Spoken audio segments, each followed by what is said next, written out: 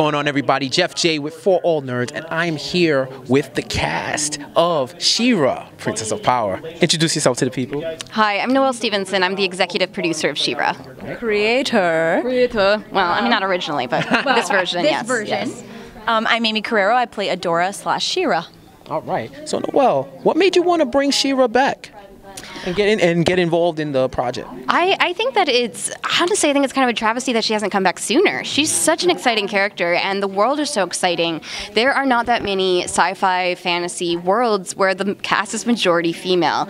She-Ra was already pretty groundbreaking. Um, and I think it's the perfect time to bring her back. Uh, I am so excited to be able to tell these stories that I've always loved, the genre, the sci-fi, the fantasy, through a, a lens that you might not always see it through, which are these, you know, flawed and complicated female characters.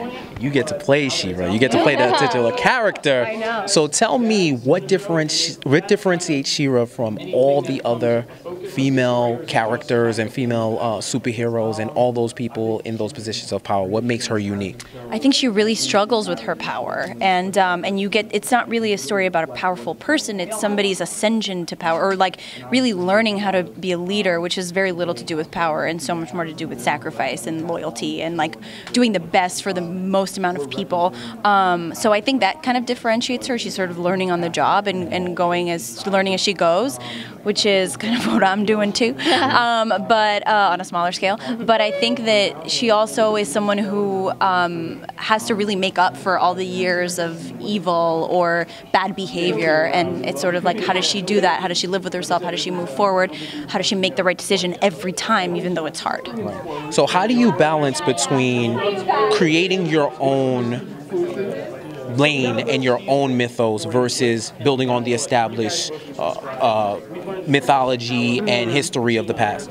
I think I approach it very much. A lot of how I honed my storytelling since back when I was a kid was I had boxes and boxes of action figures. So, and they would I would mix and match them, but I really preferred Star Wars action figures. Um, and I, I think I approach this in a lot of the same way, where it's like here's the box of toys that I have to play with how am I going to build on what's already there and reimagine them the way I want to and explore their world with given the pieces that I have. So you have all these exciting things to play with. Like everything in the show, the seed comes from the original show. It's like, "Oh, amazing. We have this awesome character. She's this. She's, you know, she's Adora. She's she's this. She started out as a bad guy, she became a good guy." And in the show, that happens fairly easily for her. Um, she becomes a good guy very easily. She was actually under a mind spell the whole time, which sort of absolves her of any guilt.